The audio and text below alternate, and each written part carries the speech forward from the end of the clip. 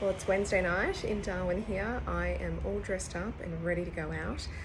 We're going to be going to a very special spot that I love taking people to tonight, and I think every Territorian and tourist has to have it on their bucket list.